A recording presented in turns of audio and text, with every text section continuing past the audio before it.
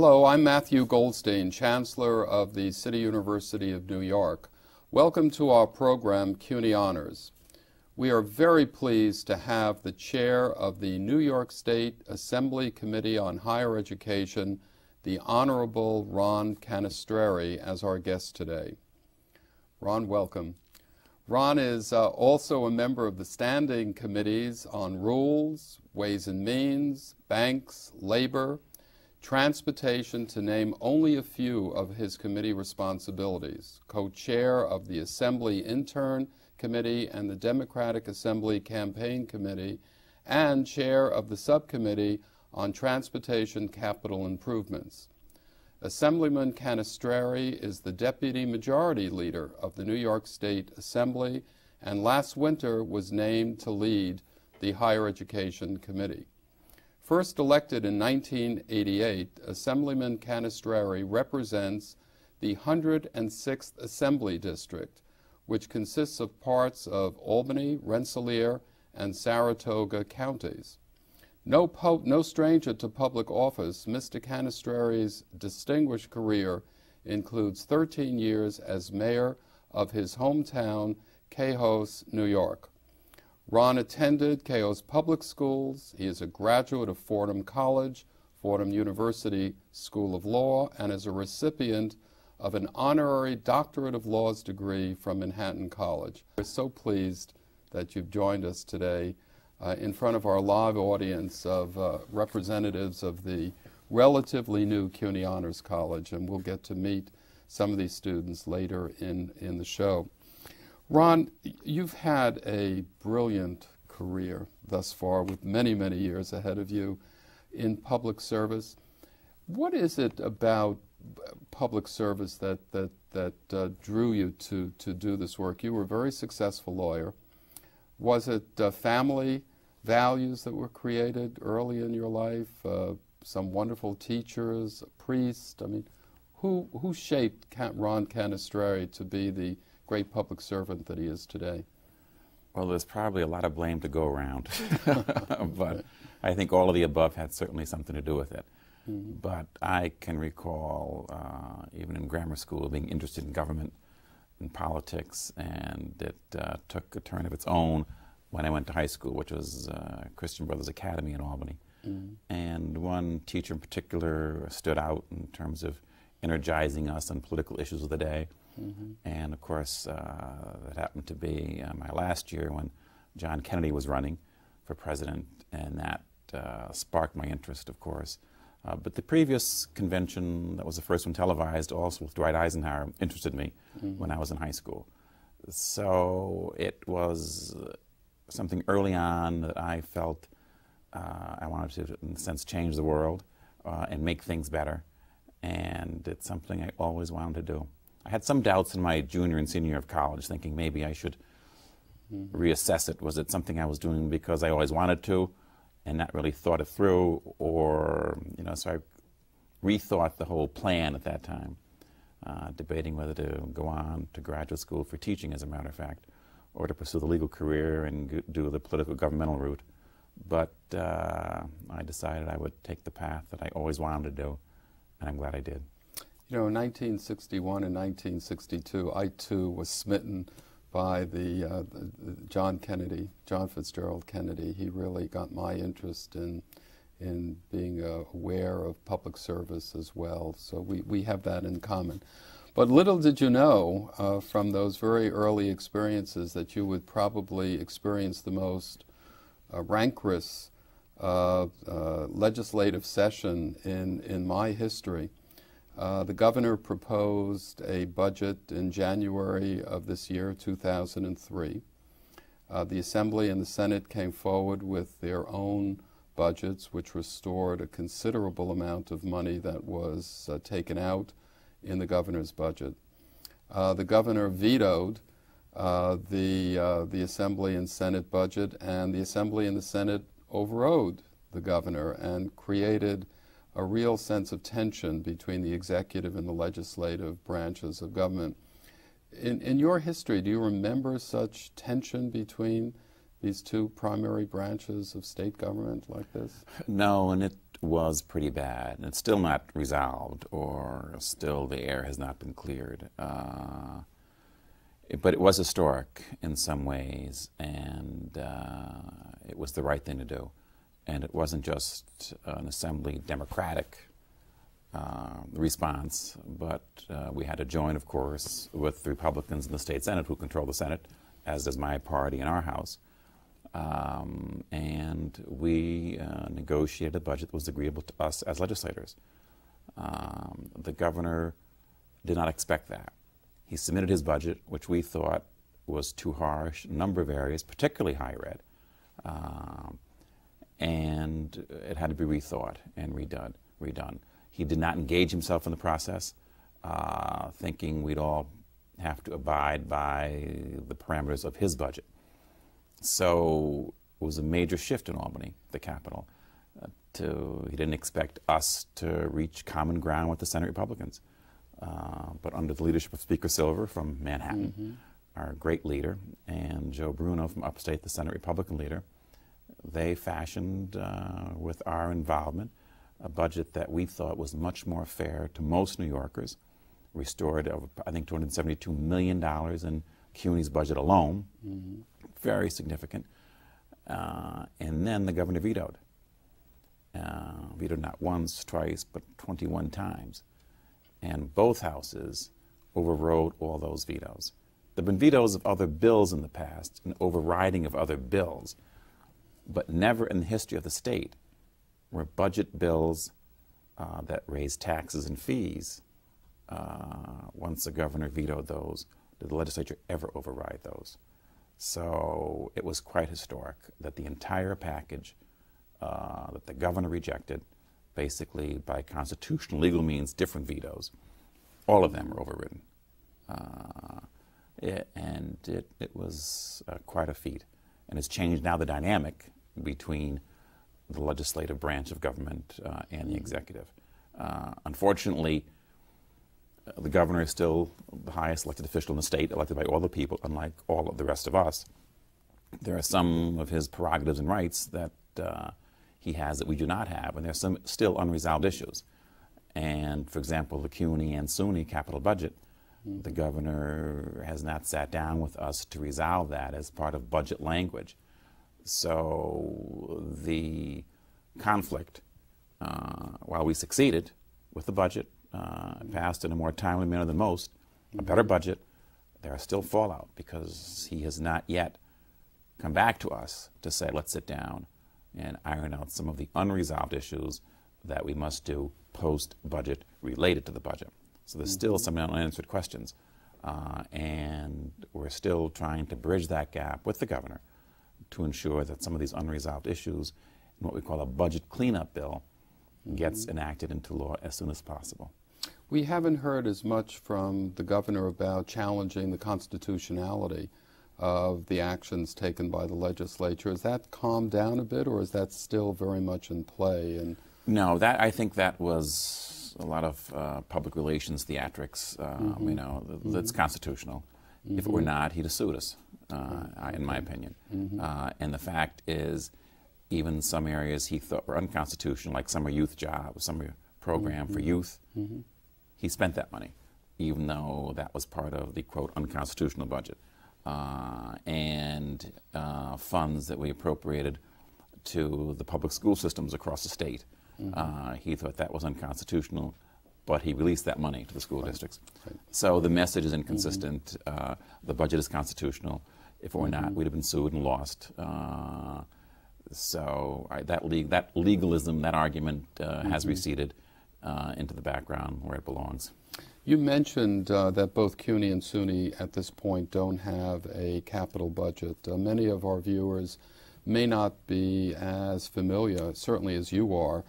Uh, you're really right at uh, right at the foundation of, of constructing these budgets. That the universities get an operating budget and they also get a capital budget. The operating budget is in place and we are now spending that, uh, that budget as we go through the academic year.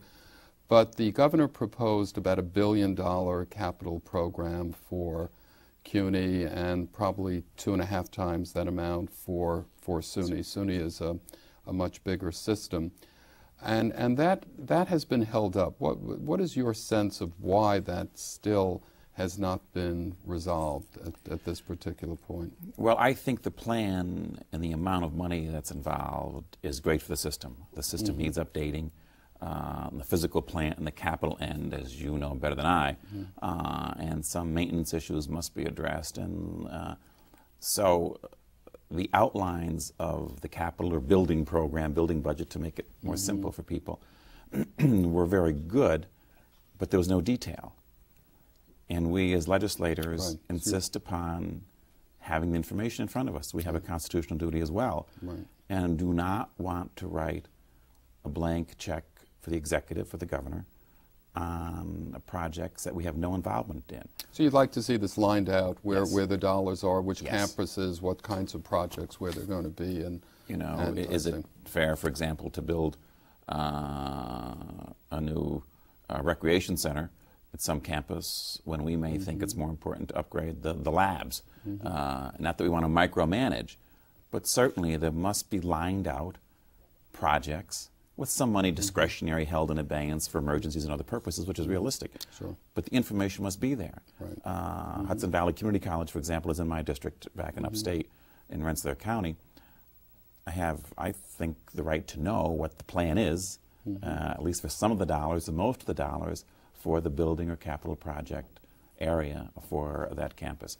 So the fight and the dispute is over information and our involvement as legislators to know what the detail is in the plan. And you have a fiduciary responsibility to the taxpayers to, yes. to see where the, the dollars are going to be spent and, and if they're spent uh, appropriately. Let's go back to the, uh, the spring of this year where uh, the budget was finally adopted uh, for CUNY uh, in particular. We, we were challenged this year probably with the largest uh, expectation that we generate more revenue to support the operating budget than we have in recent history. And that revenue target was predicated, if you will, on raising tuition by $1,200 per FTE student uh, for New York State resident students. And as you know, Ron, uh, the Assembly was violently opposed to this. We were violently opposed to it. And eventually, CUNY, with a very comprehensive plan, was able to spread the revenue uh, expectations among various constituencies so that we did not have to raise tuition by more than $800 uh, for, F, for an FTE student living in, in New York State.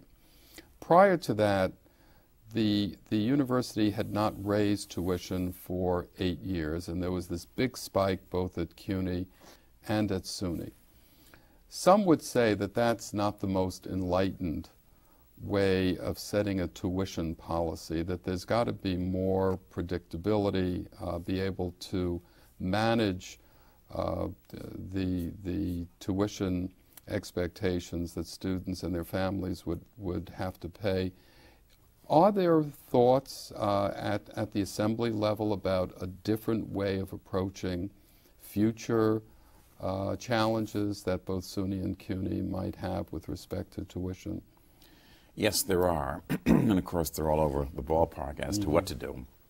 Mm -hmm. and our position has been uh, to fight tuition increases, uh, uh, but also not denying the campuses the operating money that they need.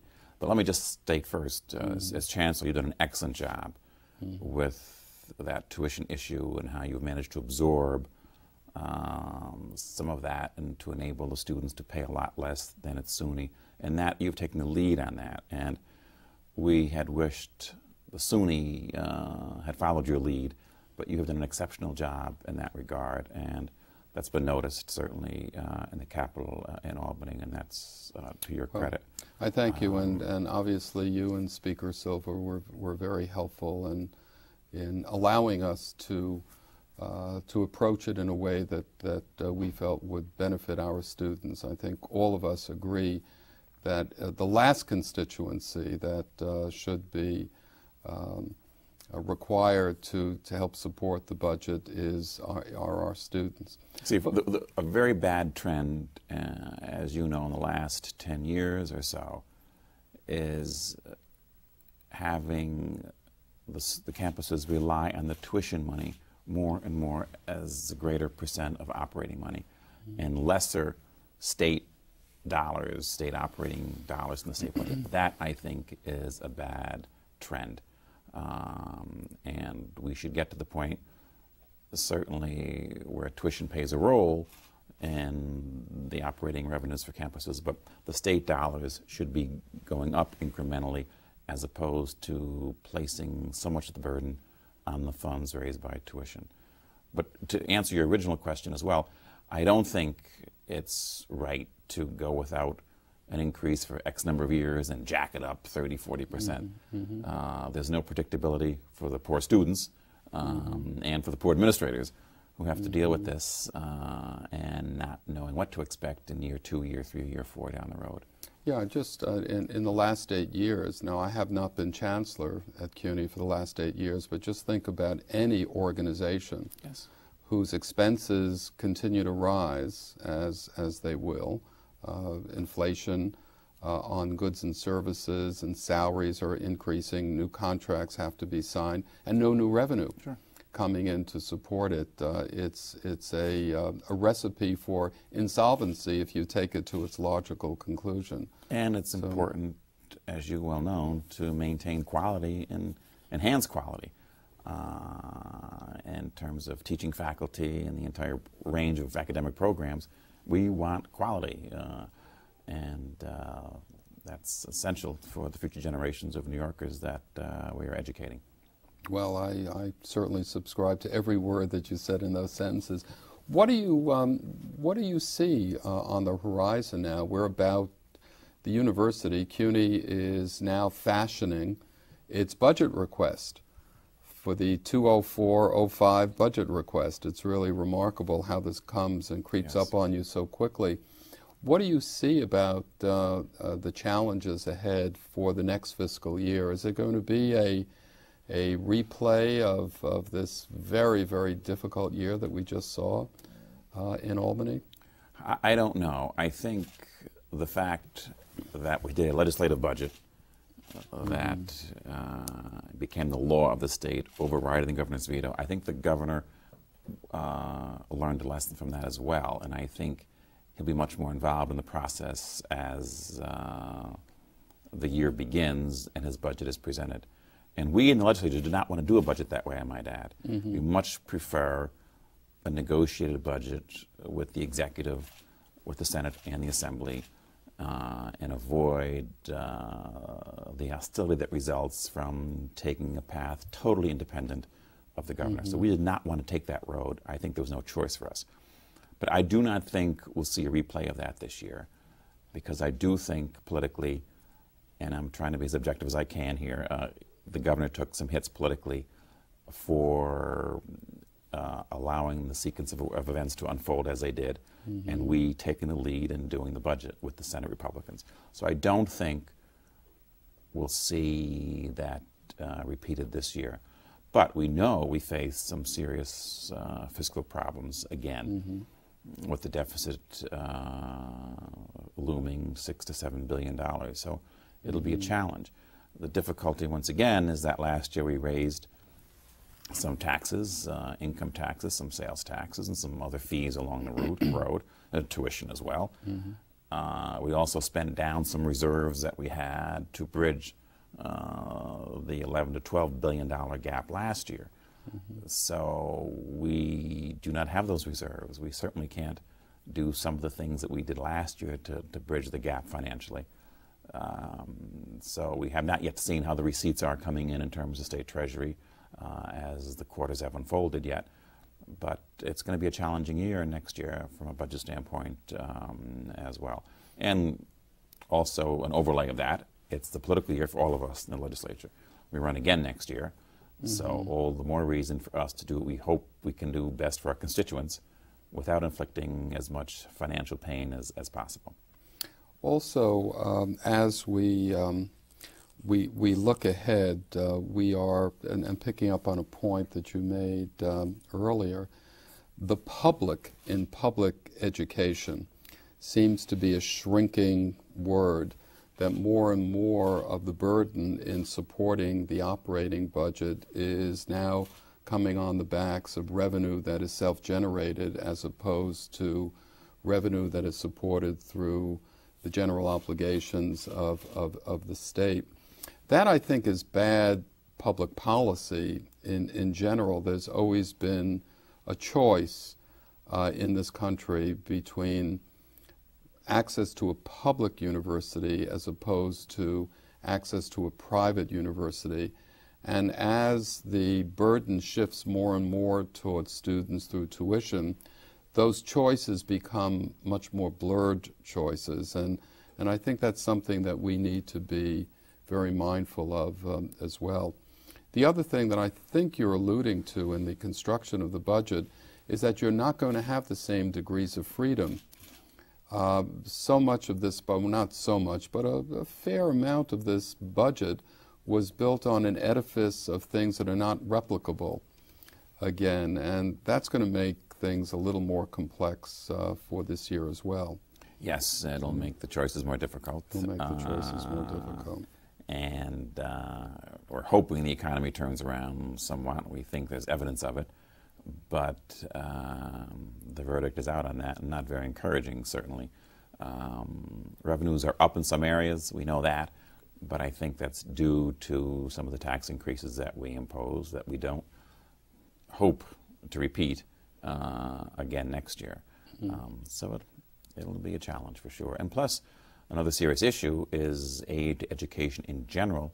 Primary and secondary schools are schools across the state, not the higher education area as a result of the high courts and the state's decision mm-hmm. that basically uh, declared the formula unconstitutional and directed the state legislature with the governor to come up with a new way to fund education in the state. Um, and they were right. I think the court was right. Mm-hmm. Um, we've got to redo that, and that will take more money. So we know we have to spend more money in that arena already in the light of a tougher financial situation, we know one area we must, uh, uh, by the direction of the Court of Appeals, act on. So that limits the flexibility and the revenues in other areas of worthwhile state activity. The, the campaign fiscal equity that, that really drove the, um, uh, the, the courts to be heard here has resulted in the governor appointing a, a, um, a commission uh, to come forward with recommendations. I believe he has said that the commission is to report out in March. Is that realistic? I mean, this is something that has been an enigma uh, for so many decades uh, in the state. Realistically, can a commission which is not fully fully formed at this particular point, it seems to be formed in a more iterative way, can they get their job done in March so that the legislature could um, act on those recommendations so that you could get your job done? I think it's June 30th is when the legislature is supposed to. Is the timetable going to work here? Or? I don't see how. Uh, and I don't think uh, the commission was the right way to go. Uh, number one, the governor must present his budget by the end of January. Mm-hmm. So he presents a budget not knowing the dynamics of the education formula. And uh, then the commission makes its report, whatever that is, to us and to the governor. So it's going to be up to us in the legislature, without the governor, his, his, his budget's already done, to address this issue. So he, in a sense, can take a walk. We've got to deal with it. Uh, and basically say it's the commission and legislature, let them do it. So mm-hmm. I don't think it was the right way to deal with the problem. The mayor of New York, uh, rightfully so, was very upset. The lawsuit originated here in the city, uh, and yet he wasn't consulted on a member for the panel, mm-hmm. for the commission. And it's not an upstate downstate issue. Uh, oh, sure. People think it's a it's a city issue. We're just trying to put more money into the city of New York school system. It's not the case at all, uh, because those of us upstate know a lot of our school districts, both in smaller cities and rural areas, mm-hmm. are equally poor and a formula that doesn't take into that into consideration, whether it's poor upstate or downstate, that's mm-hmm. where the court said uh, more resources must go. There must be more fairness to those districts that need more.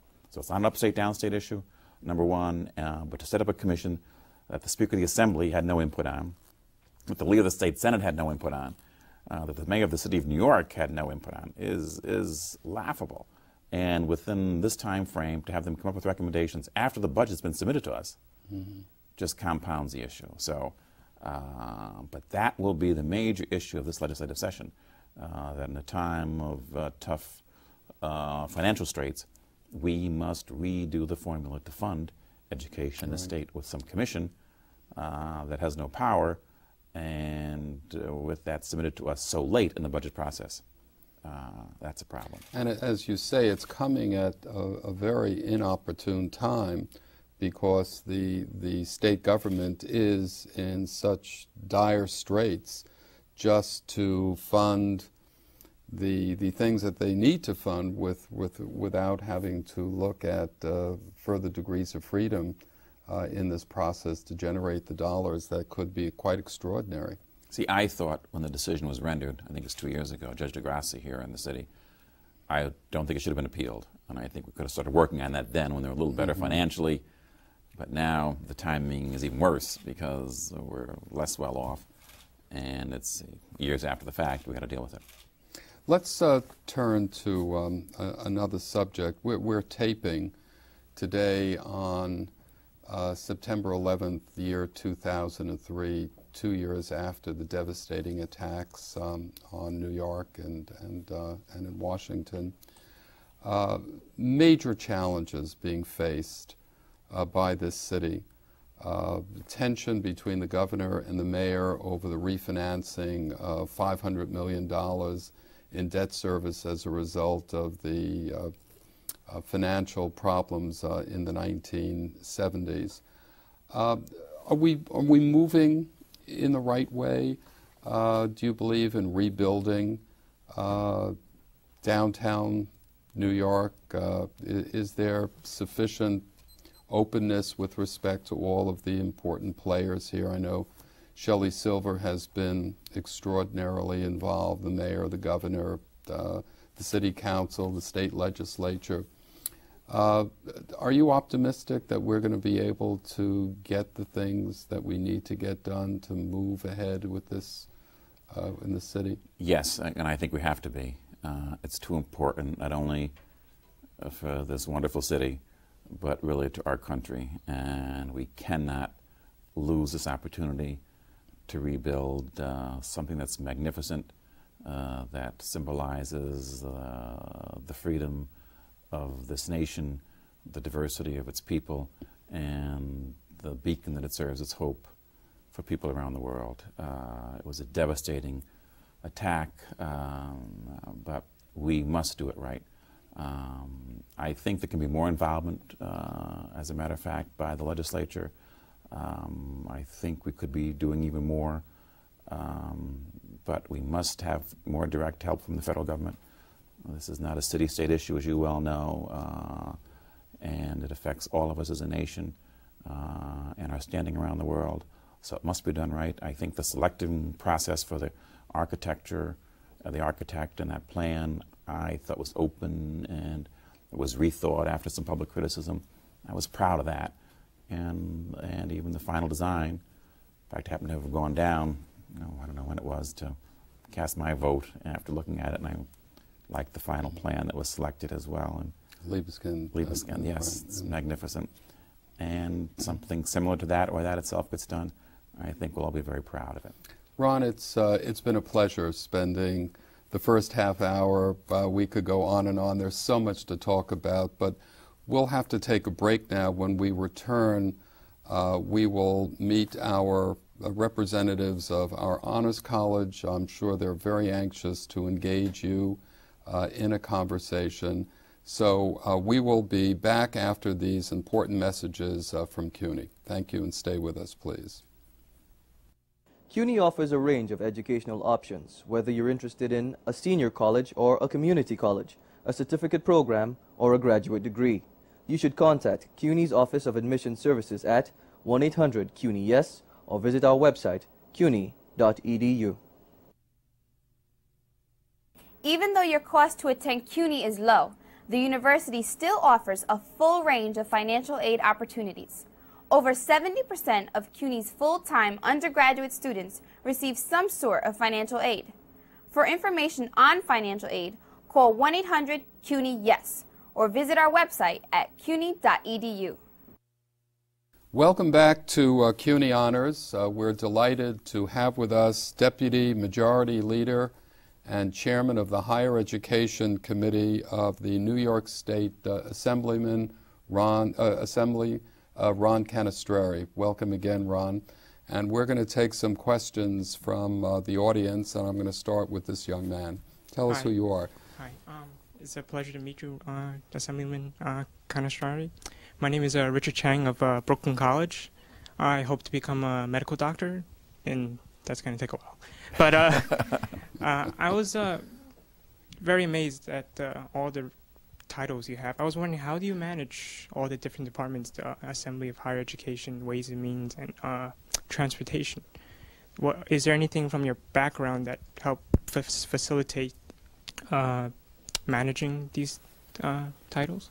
Well, it uh, it is time consuming and intense uh, at times, uh, but you have to balance it out. And uh, I really think the experience I had uh, practicing law uh, and also uh, as mayor of my hometown helped me because even though it's a small city, uh, that is a tough job. So, uh, time management and, and juggling issues and people and departments and police department, fire department, library, youth bureau, parks, you know, and, and things have to be done. That certainly helped uh, as well. So, and it sounds more overpowering than it really is, believe me. Uh, you could do it too. If you can be a doctor, you can do this. and you learn as you go. You know, I've been in the assembly now 15 years, uh, and I didn't start out with all of these obligations and responsibilities. But if one expressed interests and liked to be involved and uh, work at it, then I am and took on more responsibility as the years unfolded. Wonderful. Thank you. Very welcome. Yes. Hello, my name is Sean Clark. I'm a student at Hunter College. I'm a pre med interested in either philosophy or political science as my major. Uh, I was looking over your background and I saw that you uh, mainly were educated at private schools. Now that you have like such a place in terms of like working with the funding and uh, of pu- of public schooling, have you been surprised or been uh, is there anything in particular that really struck you when you were first going into things about public education that you had not known or not realized before? Yes, I certainly learned a lot and have still learning. Um, my first eight years in public schools, in fact, my parents didn't want to send me to a Catholic school. As a matter of fact, they thought that was isolating me a bit more, but it was my decision uh, to go to a school outside of my hometown. And I really wanted to come to New York City for college uh, and ended up, fortunately, at Fordham, which I enjoyed very much. But even being here in the city for the four years of law school, four years of college, and three years of law school, there was interaction with uh, the CUNY system, and, and so I learned something even as a student uh, while I was here. But as a member of the Assembly before taking on the position as chair of higher ed, um, there was a great deal of exposure too. When I'd, I'd come down to our Ways and Means meetings, and they sometimes are at different campuses, John Jay and um, Baruch, and so there was exposure, our interaction with the New York City members, and uh, most of my close colleagues are city members. So there was an educational process too. Um, but mostly I've been impressed with the students that I've met that have come to Albany, that I've been down and visiting here. And I was down at the Graduate Center uh, meeting some students uh, earlier this year. Impressed by the caliber of student, the diversity, and how you juggle your time with some working and jobs and studying. That is something I didn't have to do as much, if at all, when I was in school, and that has been something that's impressed me. But I'm proud of the CUNY system, the SUNY system. I think it's the best in the nation, but we have to make uh, we have to work on making it uh, even better. Thank you. Thanks, Sean. Uh, hello. It's nice to meet you, Assemblyman Canestrari. My name is Yosef Ibrahimi, and I am a student of the Honors College at Queens College, and I aspire to one day be a university professor. Uh, given your position on the Higher Ed Committee, are you and your committee members considering any firm plans on how to assist the CUNY system in the development of Governor's Island as a facility for the City University of New York? And is there are there any firm plans on the table to increase the prestige of both the CUNY and SUNY systems uh, in the upper ends of the academic research community?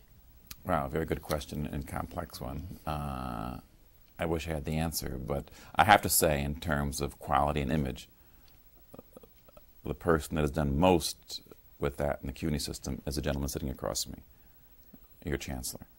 Uh, because I recall in the 60s the reputation that CUNY had, and I think it suffered for a while.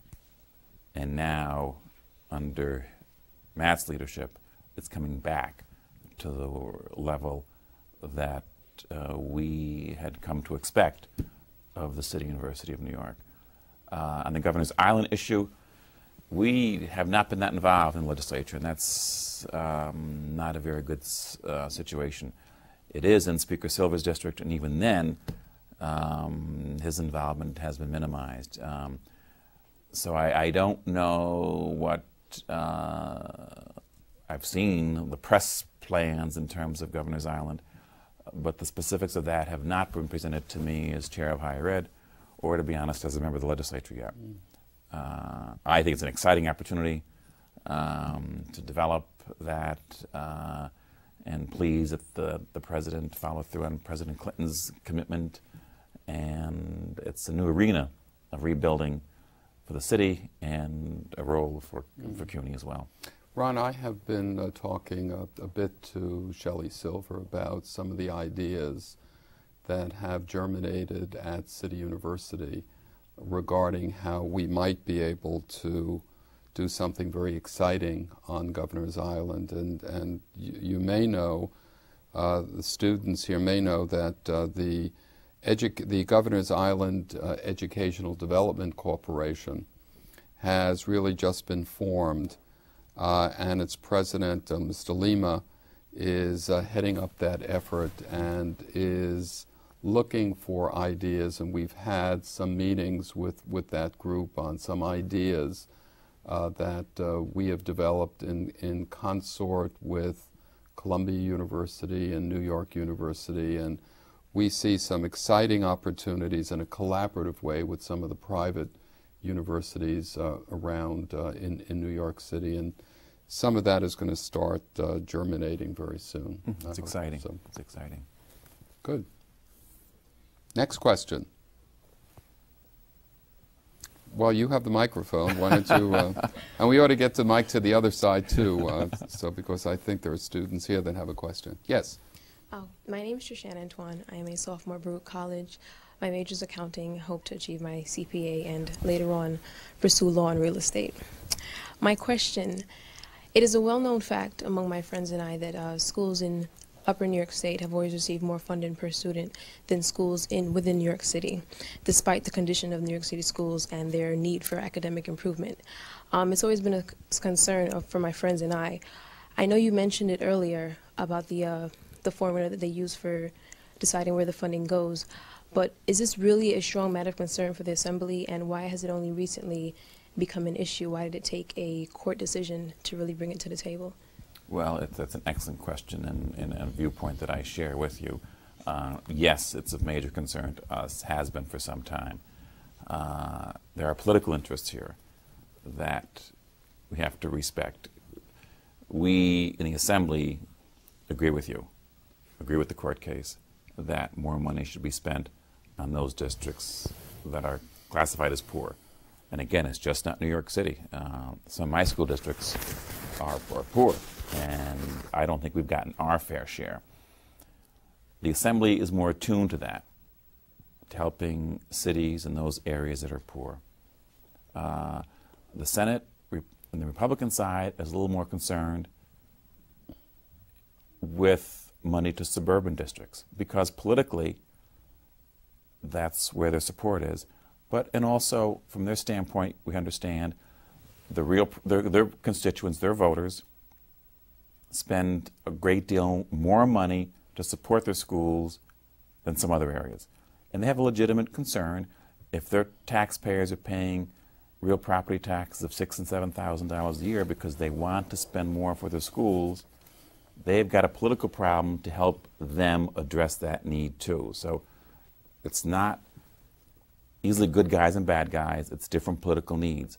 So we've been trying to address that, trying to target some more funds to those districts that are more in need. But it's a negotiated process with us and with the Senate and with the governor to arrive on a dollar amount and how to spread out those funds. Uh, and there are legitimate concerns of the Senate, as I'm trying to say, as fair as I can be, and concerns that we have. So that's how it's progressed. Um, now, the court case is a wake up call, and uh, need is paramount, regardless of other political considerations, and that will have to be addressed. We just can't take money away from some suburban school district saying, you know, Tarrytown, you're getting too much, or Chappaqua. Well, I'm paying $10,000 a year in school taxes. I'm willing to pay more than I, the state should help us support a, a better system. So we can't take to my hometown, for example, which is not very wealthy either. Um, so we've got to balance that out to make sure the poor districts get more in res response to the court decision without pulling out money and letting lay teachers get laid off in some other areas. That's a challenge. How are we going to do it? I have no idea. but it'll get done. It has to get done. It does- it and need and poverty indexes Yeah. are paramount by the court decision.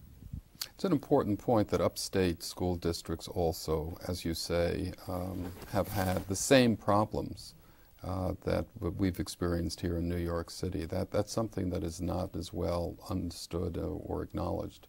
You know, and it's a smaller scale, but it's poor too. Yeah, sure. You the- know, the, need is uh, there, sure.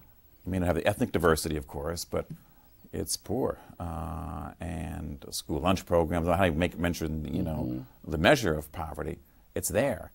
And whether it's upstate or downstate, we've got to address it. Uh, it's got to be addressed. Part of the problem in the city is that as we've given more money, the mayors through the years have reduced the city's commitment to education. And that's not fair either. You know, we're not sending dollars to New York City school system to enable the city of New York to save money. That should supplement what the state's doing. And that does not happen upstate. You know, if we give more money to a school district, uh, the school district commitment stays the same. This is a different system here, but we're not in the business of putting more money into the school system in New York to enable the mayor to pocket that money and spend it more on roads. That's not the way it should be. So we've tried to get what we call hold harmless agreement by putting into law if we send extra dollars to the city of New York your school system, the city of New York must spend X number of dollars on their own and keep that steady and not reduce it in reliance upon our money that's coming that's uh, being sent to the school system. That's another political issue, which is a serious one. Yes. Hi, my name is Salma Raghunath, and I'm a student at City College, and my major is English. I hope to someday be- become a teacher or a lawyer, one or the other. Um, the question that I have is that you mentioned earlier on in the program that the state keeps reducing the amount of money towards the CUNY school system, but while increasing the tuition, and therefore the school has to rely heavily on, tu- on tuition instead of the state funds. Um, if this trend continues, where do you think you'll see CUNY schools in about 10 years from now or in the future? Well, I don't think we can allow that trend to continue. I really don't. Because it makes the administrator's jobs much more difficult. And, and it's very hard, although the chancellor's done an excellent job on raising private funds. But a lot of corporations and others do not want to give easily money to a publicly supported school system, you know, whether it's CUNY or SUNY. But that's the government's role. Why should I? So it's very difficult uh, to raise private dollars. So that trend, I don't think, can continue, or else the quality and the programs suffer, and so do the students. We've got to get back to a position where the state dollars are there and uh, rely less on the tuition to operate uh, the educational programs that we have. Okay, thank you. That's, but it's a, it's a bad trend that we have to reverse it. Incrementally, not overnight, but doing something to reverse that. Great. Yes. Um, hi, I'm Harbani Rana. I go to Baruch College and I plan to major in finance and investments. Uh, my question is more on the lighter side of things. how do you manage your work life with your personal life? Your work life sounds really thorough and time consuming. So how do you manage to do That's that? a problem. It's a problem. uh, it's difficult. Public service uh, is all consuming, and sometimes the personal life uh, has suffers a little bit, and so does family life. It's hard because not only do we do at the capital uh, and our political, you know, our everyday life in session, which does not last all year, thank God, but uh, during the week and weekends we have functions, and uh, it's nothing. I did seven last weekend. It was a relatively light weekend, Friday, Saturday, and Sunday, just doing things. Seven. Seven Seven. events on last weekend. last weekend. Um, and that, um, I'll sometimes do 12 or 13. Uh, I'm trying to back off a little bit, but I feel one, it's important to get out. You feel an obligation to some things, you must go. And secondly, it's important to learn and get the feel for the community and the groups that are out there. And the feedback uh, that I get is important politically for help for the reelection, but more importantly, substantively in terms of doing the job. But it's hard. The summer is better, uh, and, and there's less, but once Labor Day hits, whew, it starts again, and uh, parades, the outings, and the functions increase. And during legislative night, when we're in the assembly, when we're in session in Albany, I'll do six or seven legislative receptions a night. Uh, either the Teamsters Union will be in, or uh, the university professors will be up, or different groups, and nurses, the medical society. Will, you'll do those, you'll visit, you'll talk to some people in your own district about issues that affect them in that particular area. And not only do you do session, have session all day into the evening, but then have those legislative receptions. It's long, it's long days. But most of it's very gratifying and satisfying, so it works out, pays off. Thank you. You're welcome. It's good also to use the dictum of living a balanced life, which we all try to do, but these jobs are very demanding, and yours in particular, with all the social uh, engagements that you have and obligations to the, your conference. It's um, you must be pulled in many, many different directions. It is, but you have to like what you're doing. You know, and if you're thinking of careers, you know, really think that through. And you're in a position to learn and grow now. But uh, liking your work, it affects your personal life too. To be, you know, not that happy with what you're doing every day, that's that's hard. I was with the government for a while in Washington D.C. as a lawyer right after law school, and it was a great city and a lot of fun. But and I took a chance doing what I did because I just quit the job one day. I said, "That's it. this is okay, but not the way I want to spend my life." Uh, and it was a, it was a good move. Um, but just but when you enjoy what you're doing, you grab a hold of it. The days go by quickly, and hopefully you do some good things for people along the way. Well, you do very good things along the way. Yes. Hi, I'm Christy Putchko from Brooklyn College. Uh, I intend to be a filmmaker. And um, my question for you is admittedly controversial. Um, you mentioned that you yourself chose to go to private schooling over the public schools in your area. Um, I had a similar situation where the public schools where I lived were not very good, so my parents scraped, scraped together and I went to private school. Um, because of that, because of the fact we mentioned that public schooling is getting so little money, and, and the front of the Times today said that 40% of schools nationwide are not meeting standards of the U.S. Uh, school system. Considering all that, are you for or against the idea of school vouchers? I'm against the idea of school vouchers.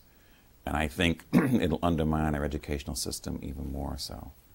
Um, and I don't like the idea of charter schools. I voted against the establishment of charter, charter schools in the country, in our state.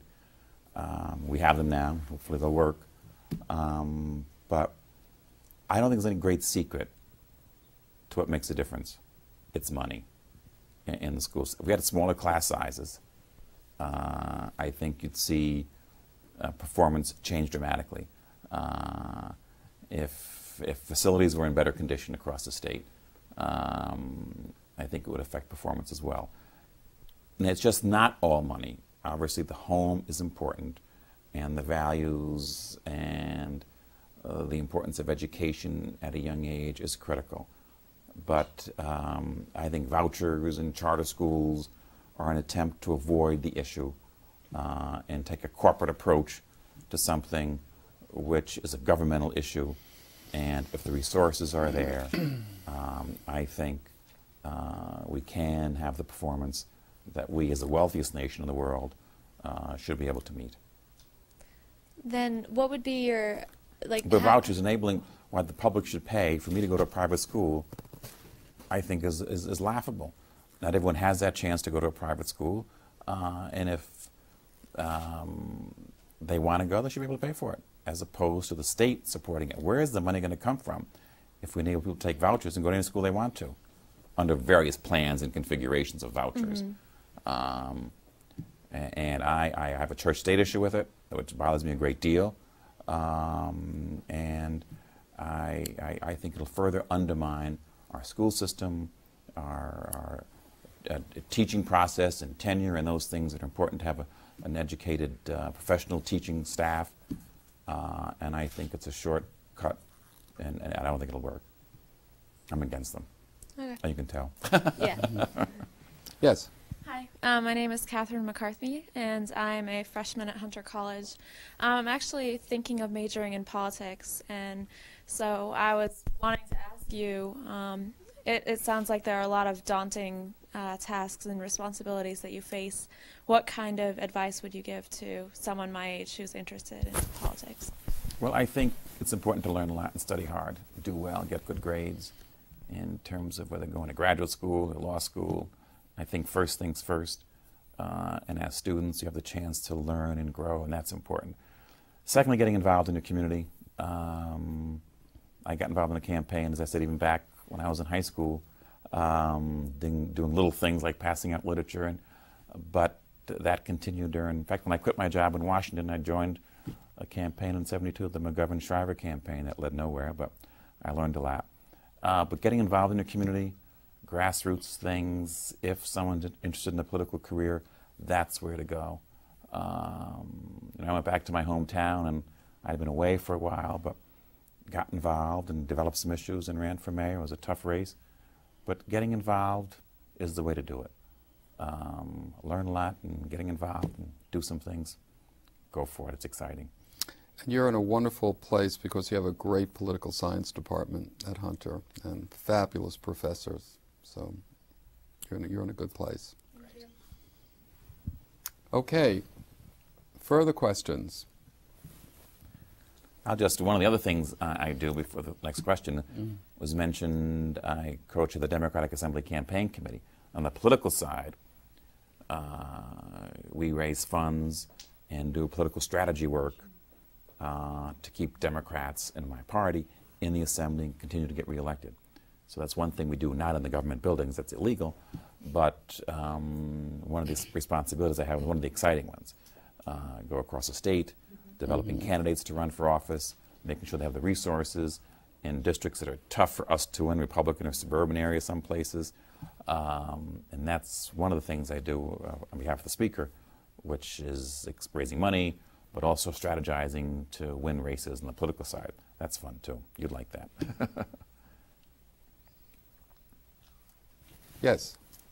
Hi, my name is um, Ujuka Obi I'm at City College and I'm a biochemistry major. I intend to be a doctor. So, you talked about quitting your job at Washington. So, I was um, intrigued. I wanted to know the branch of law you practice and what made you actually leave law. I know you were interested in politics, but what actually made you um, leave practicing law? Well, it was a tough decision. Uh, when I was in Washington, I was uh, in communications and administrative law. I got the job right out of college, right out of law school, and I had interned uh, under President Johnson with the internship program. So I wanted to go back to Washington uh, and get involved in government at that level. What I found was you're involved at one level, but it's not really where the people are. You know, you're in a, it's a different thing altogether. So I thought um, it wasn't for me. So I just quit. Got involved in the campaign. The campaign I was hired for uh, enabled me to, they assigned me upstate. I could go, go, go to Chicago or upstate New York to help coordinate the campaign. I chose to go upstate.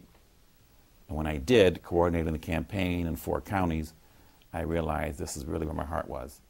And I'd go back home. So I practiced law there, but then got involved politically in my hometown as a lawyer. They needed someone to, uh, for lawsuits and political stuff going on. And I got involved with them in my hometown uh, and thought law is exciting, but in government as a mayor uh, was more exciting. So I stopped that. But without law, I couldn't have had that access and exposure that enabled me to run initially uh, as I did back in 1975. Thank you. Last question. Hi, my name is Felina, and I go to Brooklyn College, and I'm majoring in history. And can you please tell me who determines the CUNY budget and what factors go into it? Wow. Good question. Well, we rely, number one, on the trustees of CUNY um, to send up the budget report, reports and recommendations, and then we in the legislature make our decisions with the governor as to how much should be allocated. We made, the governor made some major cuts this year in community college base aid. We put all that money back in. The governor eliminated STEP and C-STEP programs that help students. We put all the money back in. Reduced by half uh, SEEK program and other opportunity programs. We put that money back in as legislature. So eventually, it's our responsibility at the state level in a working relationship with uh, the Board of Trustees as well, both with CUNY and SUNY as well. The budget, uh, the budget process begins at the university. Uh, the chancellor is responsible for coordinating efforts that ultimately come forward with a recommendation to the Board of Trustees. And typically, the Board of Trustees, because they are part of the process, will approve the request. Then it goes to the governor.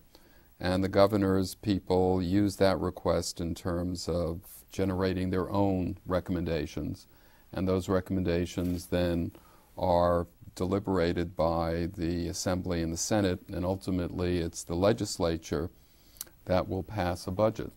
And um, I can say that Ron Canestrari and Shelley Silver, uh, the um, two gentlemen who are in the top leadership roles of, uh, of the Assembly, have been indefatigable uh, in their efforts to assist the university. And uh, it's really a pleasure for us to work with you in your new capacity as uh, chairman of the Higher Education Committee.